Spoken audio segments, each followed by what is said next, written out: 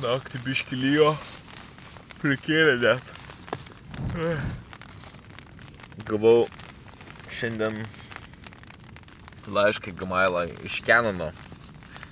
Tipo, kad bendradarbiauti ir išbandyti jų naujas kameras.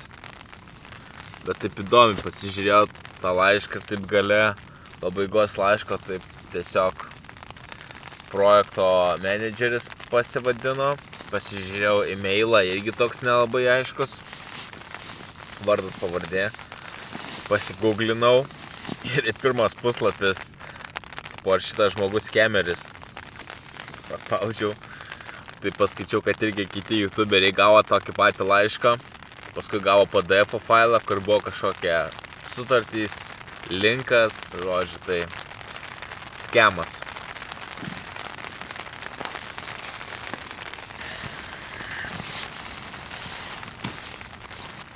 Nu ką, šiandien lietutis biški daužo.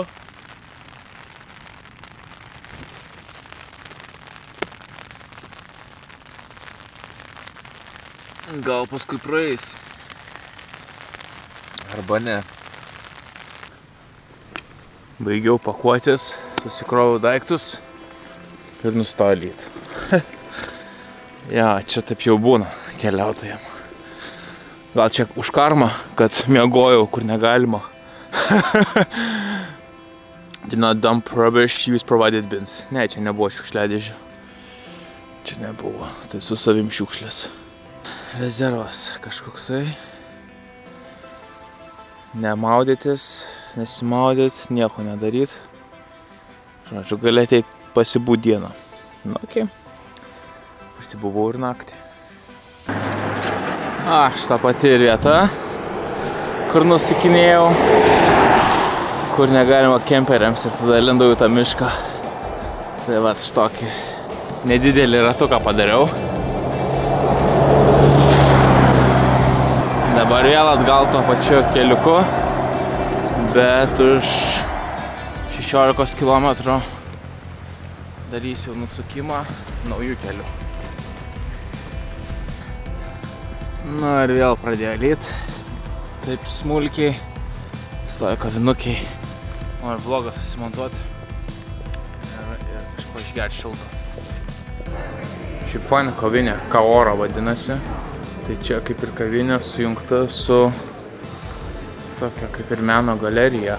Gali kur ir apsižiūrėti daiktų ir nusipirkti. Wow. Geras.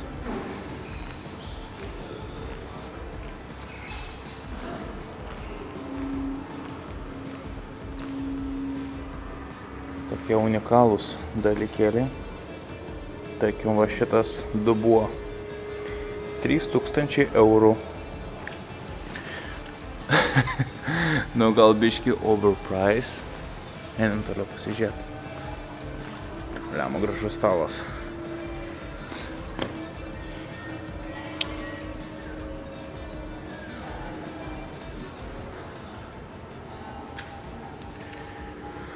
Stalas 21 tūkstantis Zelandijos dolerių, tai čia grubiai 11 tūkstančių eurų. Štai va šis. Nu jo. Šitas gerai atrodo, medinis. Kainų nematau. Gal neparduodamas. O, veidrodėlis oldest workable wood in the world. Tipo, seniausias medis pasaulyje. Tai gal tas ir iškelia kainą. Arba va štai šitą lėkštė. Kiek čia? Porą tūkstančių eurų. Bliamo, šitas koks geras stalas. Eik tu savo. Kosmosas. Šiaip tokių unikalių dalykėlių yra.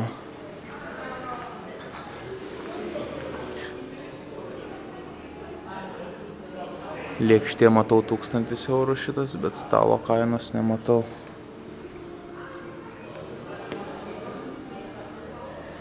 Gal irgi kaina sutartinė. wow. Kai geras. Kauri medis. Čia tas pats, kur ta pati medžio rošis, prie kurio ir buvau e, nuvažiavęs. Maždaug kem 5-50 tūkstančių metų senumo. Maždaug visas medis, ne, o ne šitas segmentas, o visas medis vėrė apie 140 tonų. Ir šitam yra apie tūkstantį metų. Ai, ta prasme, šitas tūkstant, kem 5-5 tūkstančių metų šitas medis buvo pelkėje. Jo, bet pačio, pats jisai yra tūkstančio metų senumo kaip augo tūkstantį metų, bet yra kem 5000 metų senumo, kaip ir taip suprantu. Wow, atrodo tai žiauriai spūdingai.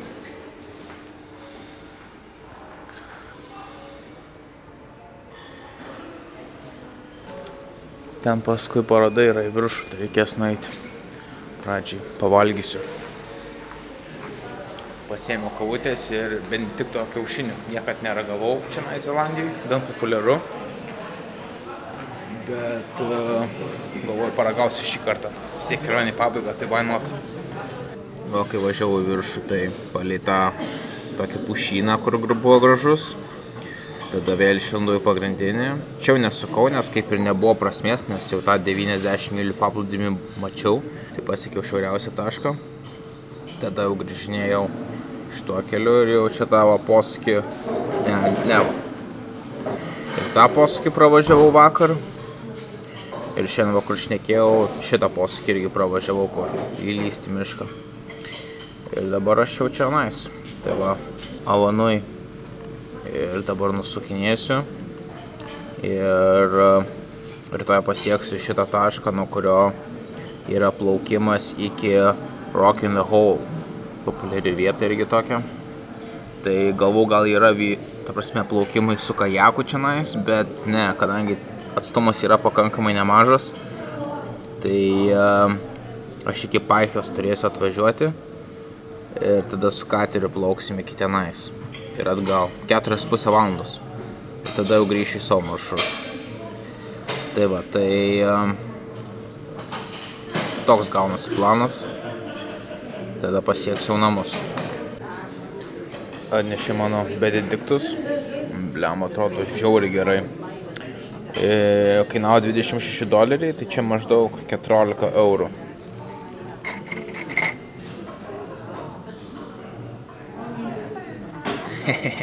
nice. Įdomu, kiek Lietuvoje kainuotų tokia. Šiaip Lietuvoje turbūt net nelabai ir valgęs benediktą. Bet uh, įtariu, kad uh, kokioje palangoje tikrai kaina didesnė nei 14 eurų. Tai žodžiu, visiems būna apetito. Nu ką, pavalgiau. Galim pasižiūrėti. Aik, tu saučia. Pačia medį išskaptuoti laiptai. Kai kosmosas. Žiaur. Vientisas medis. Eik tu savo.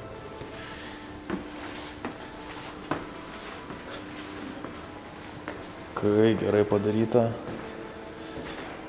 Wow. Va čia tai kitas lygis. Nu tokius laiptus tikrai ne kiekvienas įpirktų.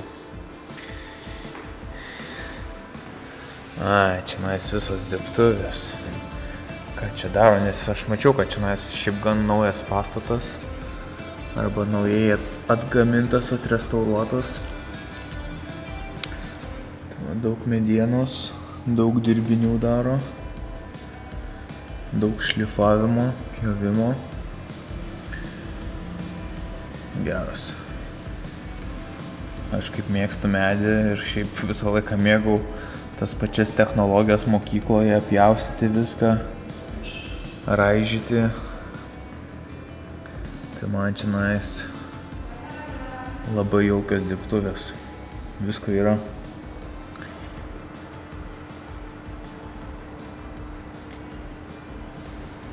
Geras.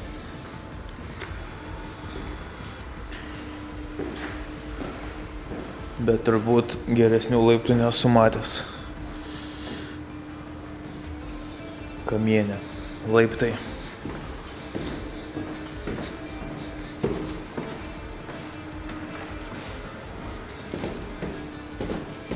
Ir čia ne jokia medžių imitacija, o tikras. Kauri medis.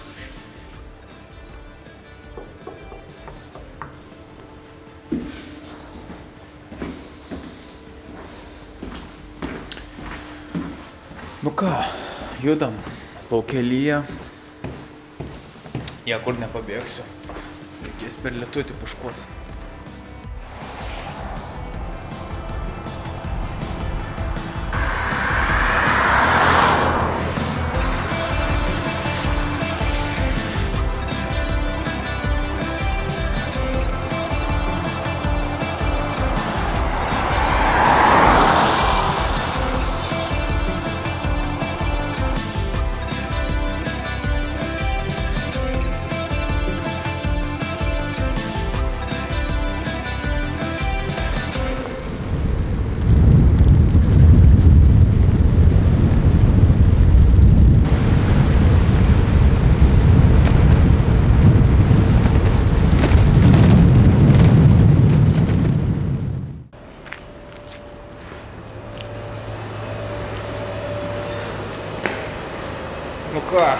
Rūbai buvo nešvarūs ir kaip tik čionais taip pamačiau, kad yra likvidas, laundry, bet visos pakankamai buvo užimtos skalbyklės, tai turėjau didelį imti, eina šik 11 baksų kainuoja. Na bet bent rūbai bus švarus už 5 eurus, o tada išsidžiovinsim. Nors atrodo va, mažas kaimelis visai miestelis, bet visos skalbyklos sukasi. Plauna pinigus. jo, bet bent švarus dabar minsiu. Turiu valandą laiko realiai. 25 minutės skalbs, 25 džiavins. Čia šalia degalinė, tai gal kažkur nueiti. Miški laukia krapnoja. Ko tik tais neskalbiu, tai savo pukinės striukės. Nors gal ir ją būtų galima skalbti e, neaukštoje temperatūroje ir, ir būtinai džiovyklį. Tai gal tada ir ok būtų. Bet kažkaip pasuoju. ir rūbai nuo lietaus. Jų irgi neskalbiu.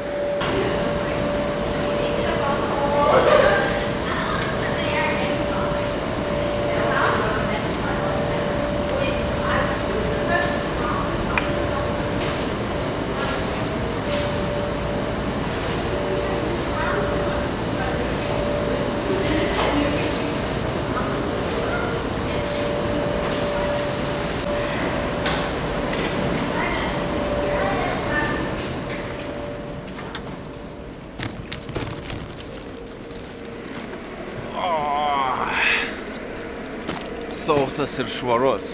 Na, rūbai švarus, aš pats nelabai švarus. Gera, vis tiek. Šilti dar rūbai.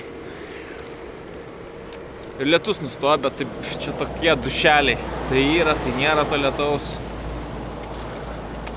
Dabar gerai. Po 10 minučių vėl kals, tai tas sausas laikinai. Bet bent dabar realiai visi rūbai švarus. Tai iki kelionės galo kaip ir užteks.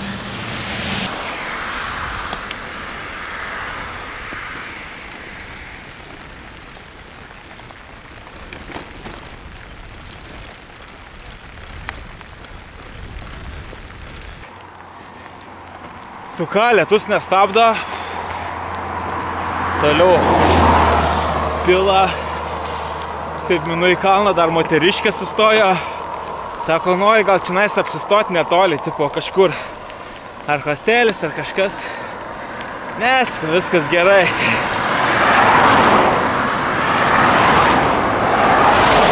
Sakau, visas naktis praleidžiu palapiniai, tai per šios keturis mėnesius nei kartą lovai nemiegojau. Eina savo, sako.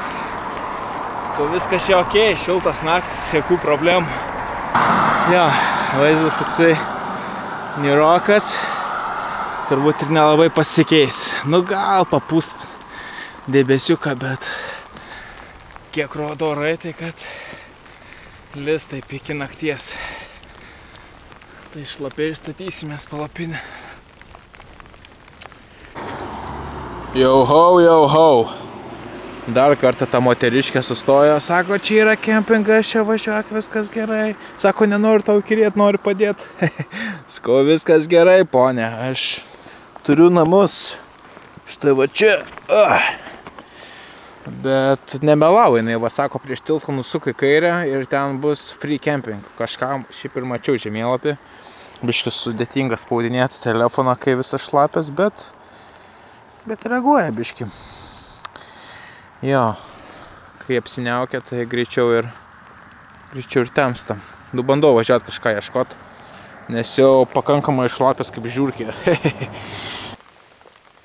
nu, čia kažką kaip ir privažiavau, Freedom Camping, bet irgi įdomiai, Freedom Camping, bet kaip suprantu, būsikam netinka, bet self-contain būsikam, kurie turi pas savyje tualetą integruotą, tai tas galioja šitas Freedom Camping.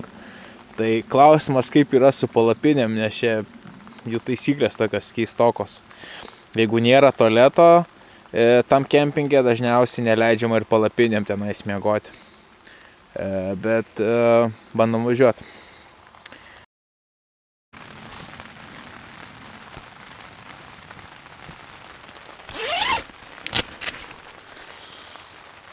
Nu jo, radau čia tokį lauką. Matot, kiek garo eina. Žiaurų. Drėgmės belė kiek.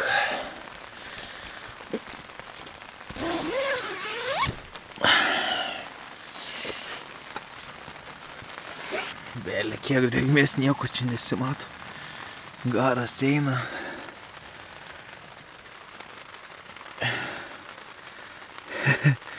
Žiauriai. Eina savo. Garuosiu aš šią naktį visą, visą naktį. Reikia pradžiau, greičiau lysti mėgmai šitai pradėsiu šilmą skleistai. Iš savo kūno šilmos biškiai apdžiavinsiu palapinę.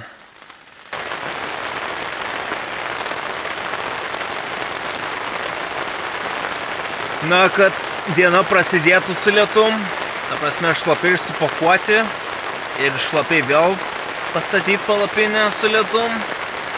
Nelabai tokių dienų buvo Zelandijoje. Gal buvo, bet nelabai užfiksavau šiaip. Retesnis atvejis. Oi. Bet dabar jau šilta. Nu, ir šiaip šilta. 16-17 laipsnių čia nais vidui palapinės, tai drėgmė taip jaučias truputį, bet bet, bet manau per naktį biškę apdžiavinsiu vien iš savo kūno šilumos ir šiaip bendros oro temperatūros daiktus, tašes. Aišku, šlapius batus ir, ir ne, savo neperšlampančius rūbus palikau e, priengi, nes jie tai visiškai keuri, daug drėgmės išgaruoja. Tai kada drėgmė nenusėstų ant palapinės vidaus ar čionais, kad ne, paskui ta drėgmė visą laiką ir stovės. Tai šiaip rekomenduotina, kas labiausiai yra šlapia, nu batai, nežinau, kažkokia striukė, tai su savimi nedėti, o dėti priengi. Tada ta drėgmė neįs čia nais ir pačioj palapiniai bus sausiau. Na, aišku, iš kitos pusės, jeigu ten reikia, nežinau, labai žiūti tau, tai tuos šlapius daiktus gali pas save maksimaliai išgręžęs dėtis į miegmaišį. Ir tada su savo kūno temperatūra per naktį išdžiovinti. Bet aš nelabai mėgstu, nes dažniausiai nu, ta vėsuma išlieka visą naktį, kol mėgi. Aišku, kariuomeniai ten, kiek žinau, tai mokina tai jo, ten į miegmaišį daug ką susigrūsti. Bet aš kažkaip iš savo praktikos, tai geriausia atveju, nu, kokį džampuką arba maikutę įsikišu į mėgmaišį, kartais koinės, drėgnas, bet nešlapes.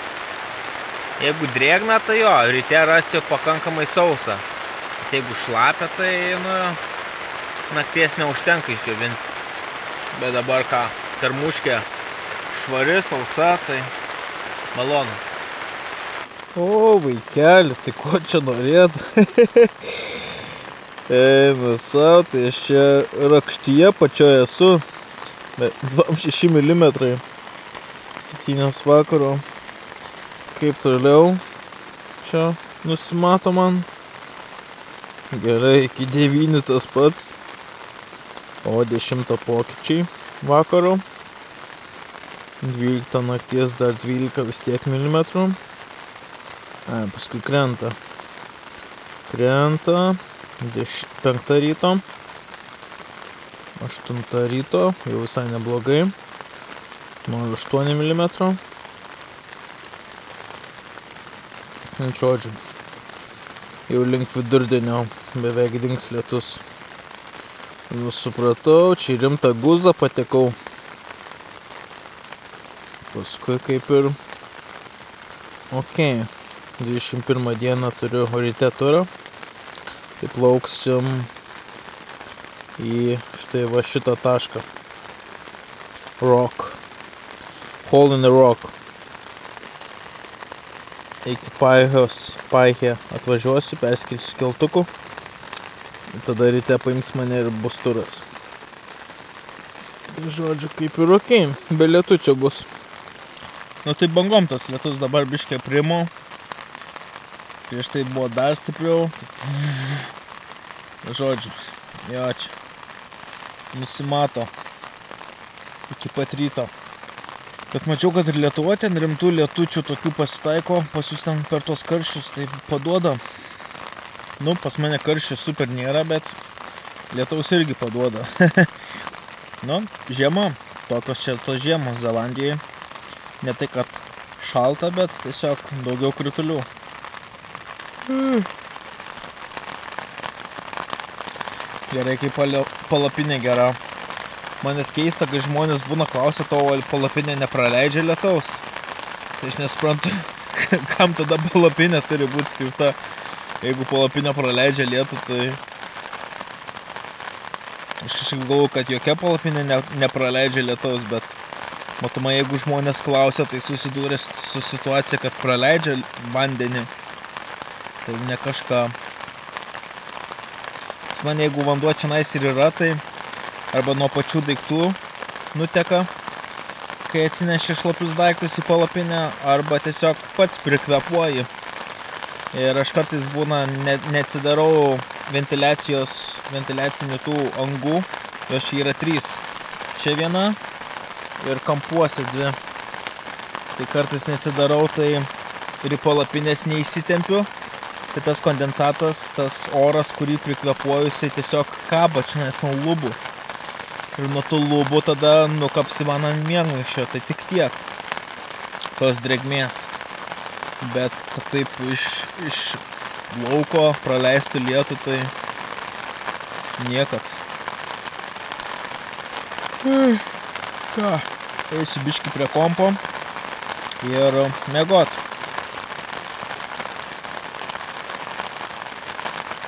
Tikiuosi rytoj jau prims lietus.